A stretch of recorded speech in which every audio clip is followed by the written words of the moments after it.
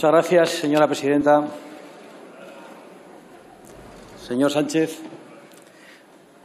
veo que está usted preparando su visita para ver al Papa. Solo nos faltaba que el campeón del aborto, de la eutanasia y del narcosocialismo se nos vistiera de monaguillo y se pusiera a leer encíclicas en esta tribuna. Y lo hemos visto.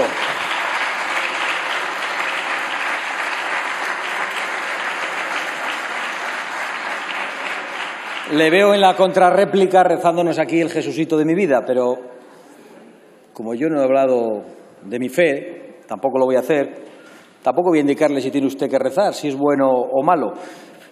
Lo que sí le voy a decir es que creo que le vendría bien un examen de conciencia. Por las mentiras que usted ha perpetrado, por cómo ha engañado al electorado y todavía no ha dado una sola explicación en esta tribuna de por qué dijo que no pactaría con esos señores, con aquellos y con aquellos otros, y usted ha pactado con todos. Así que, además de leer encíclicas, le vendría bien hacer su examen de conciencia particular, señor Sánchez.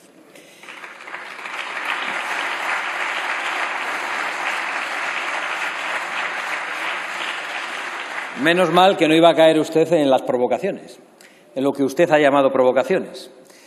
Por cierto, todo trufado de mentiras, de frases falsas que ni yo ni nuestro grupo han pronunciado.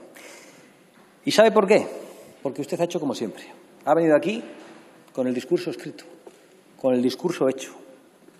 No ha escuchado absolutamente nada.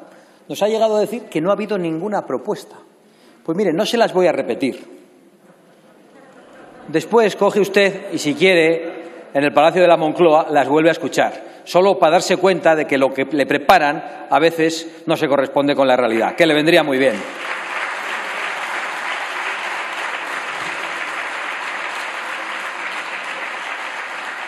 ¿Le molesta a usted que haga referencias al virus chino y que lo llame así? Es que viene de China. ¿O quiere que le llamemos en España el virus del Palacio de la Moncloa? Que también tendría cierto sentido para alumbrar de una manera bien clara cómo han gestionado ustedes la epidemia de coronavirus en España, de una manera absolutamente desastrosa. Porque este es el Gobierno, señor Sánchez, con más muertos, con más sanitarios contagiados, con más caos en el recuento de muertos, con más destrucción de empleo y de riqueza. Y se me ha olvidado decirle antes, el Gobierno más mentiroso del mundo. Todo lo que usted ha venido diciendo en esta tribuna desde hace meses y todo lo que hoy ha dicho sobre nosotros es lisa y llanamente mentira. Así que le pido a las personas que hoy nos están viendo y que han escuchado su intervención relatando lo que nosotros habíamos dicho, que hagan el favor de escucharnos, porque no se van a llevar una idea muy exacta si solo le escuchan a usted. Yo le he dicho que usted será el peor gobierno en 80 años. Entonces, ha venido usted aquí y además le he dicho por qué. Ustedes han pactado con los comunistas, con los separatistas, con los terroristas, nos han puesto al frente de la mayor contracción económica en 80 años, de la mayor deuda pública en 80 años, de la mayor destrucción de empleo. Se lo he justificado. Y entonces usted ha venido aquí a hacer una trampa dialéctica y durante un rato ha estado relatando episodios históricos a su manera. Claro, pero usted ha venido aquí también a decir que nosotros somos lo peor que hay en este Parlamento. Es decir, que nosotros somos peores que los que justifican el asesinato de casi un millar de españoles en este Parlamento. Nosotros somos peores para ustedes. Para usted es peor José Antonio Ortega Lara que Arnaldo Otegui. Eso es lo que usted ha dicho en la tribuna. Solo aplico su lógica, señor Sánchez. Luego ha dicho que nosotros aborrecemos a España por el modo en el que decimos que vamos a combatir el separatismo. Evidentemente no nos gustan nada los separatistas. El problema es que usted dice querer a España con ese gusto por pactar con los separatistas. Nosotros aborrecemos a España. ¿Me quiere decir que a todos esos socios suyos, a esos cómplices de investidura, les gusta España? ¿Aman a España? Le voy a decir algo más. No solo los separatistas, el señor que se sienta a su lado dijo, es que yo no puedo decir España. Yo no puedo decir España. Frases literales, porque yo no me invento ni una, señor Sánchez. Que nuestra bandera le producía urticaria y el himno nacional le parecía una cutre pachanga fachosa. no diga que no queremos a España. Le acepto que la queremos de una manera distinta a usted.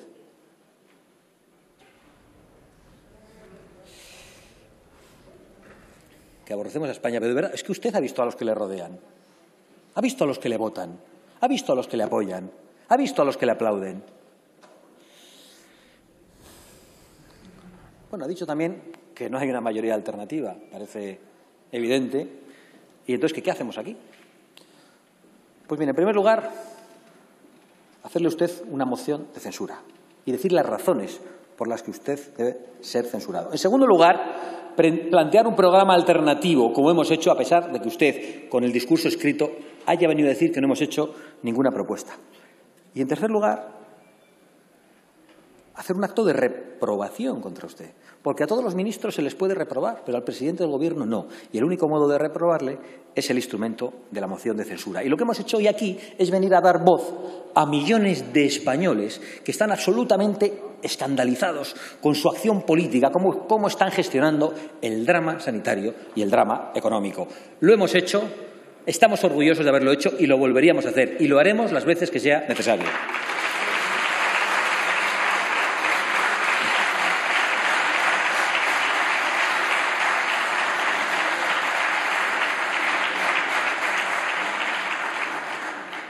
Veces cuando le escucho, tengo la tentación de no subir a replicarle. Porque es imposible debatir con usted. Porque usted, todo lo que dice es mentira. Todo lo que dice sobre nosotros, todo lo que dice a sus electores, usted miente sin escrúpulos. Usted miente hasta perder el aliento. Entonces, el debate entre nosotros se hace complicado, señor Sánchez. Ha llegado a subir aquí a decir que yo estoy obsesionado con el pasado. Usted ha subido a esta tribuna a decir que nosotros estamos obsesionados con el pasado, los que quieren imponer una ley de memoria totalitaria para decir a los españoles lo que tienen que pensar del pasado y lo que no, los que vienen a desenterrar muertos. Y nosotros hemos venido a decirles que estamos obsesionados con el futuro de nuestros hijos, con la herencia que nos han dado nuestros padres y abuelos, también a todos ustedes, y que tenemos que entregar a nuestros hijos en forma de unidad, en forma de libertad y en forma de prosperidad.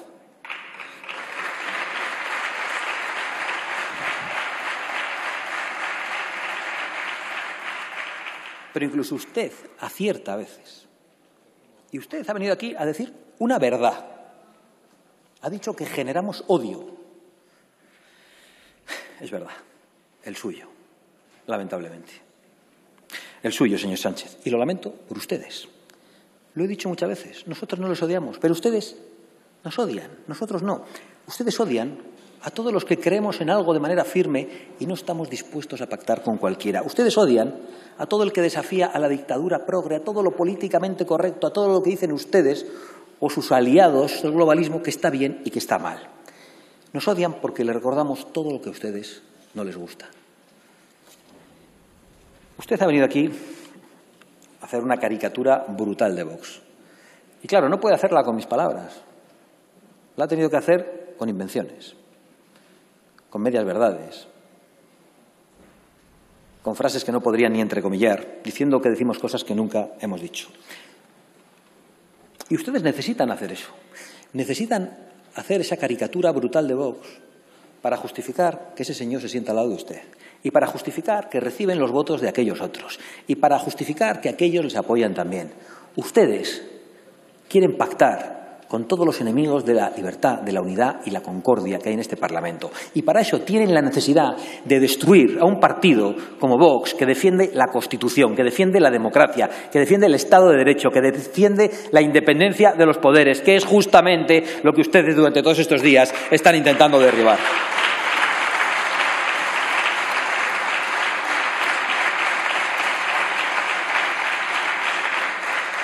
Es verdad que con esa caricatura falsa usted conseguirá generar odio contra nosotros, pero es la única salida que tiene adelante para poder justificar su pacto con ETA, su pacto con los golpistas en Cataluña y su pacto con los comunistas. Por cierto, los comunistas, eso es que decía usted que lo único que querían, tampoco debían tener programa político, que es de lo que me ha acusado hoy a mí, controlar los espías, el CNI, parece que van bien, a los policías, a los fiscales, a los jueces del Consejo General del Poder Judicial y a los periodistas.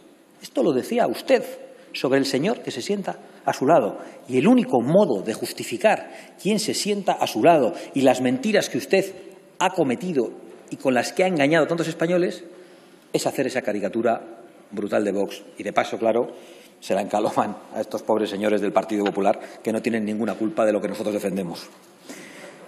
Señor Sánchez, cabe muy poco debate entre usted y yo. Es evidente que somos como el agua y el aceite. Yo creo que yo hoy le he dicho todo lo que tenía que decirle en el día de hoy, junto a un programa alternativo. Pero aprovecho también para decirle que no hemos presentado esta moción de censura solo para retratarle y para hacer que usted vuelva a retratarse con todos sus aliados y sus cómplices. Lo hemos hecho para que todos los diputados reflexionen sobre la continuidad de su apoyo a un gobierno que se ha comportado de manera criminal, de manera sectaria y que nos lleva a la ruina. Para que reflexionen y, en su caso, para que se retraten. Y lo hemos hecho para decir a los españoles que hay una alternativa, que hay una alternativa al drama y a la ruina que ustedes han traído a España. Y que hoy no lo lograremos, pero que pueden tener esperanza. Porque una mayoría de españoles cree en la unidad nacional, ama a una España unida, ama la diversidad de sus regiones como hacemos nosotros, ama el Estado de Derecho, la seguridad jurídica, el imperio de la ley. Una mayoría de españoles pueden tener esperanza en que la memoria sea libre, la actual y la histórica, y no sea impuesta por los políticos, que haya libertad en la educación, que haya libertad en las universidades, que haya libertad en las televisiones. Una mayoría de españoles pueden tener esperanza en que defenderemos la separación de poderes. Una mayoría de españoles pueden tener esperanza y saber que hay una alternativa que va a recuperar para España el respeto internacional y que nos va a sacar de la vergüenza internacional en la que ustedes nos han sumido. Y una mayoría de españoles pueden tener esperanza en que se hará justicia contra los malhechores. Muchas gracias. Gracias, señor candidato. Señor Sánchez. Si quiere, puede usted aprovechar y de una vez por todas decirnos por qué engañó a los electores, diciendo que no pactaría con todos ellos y ha acabado pactando con todos ellos. Muchas gracias.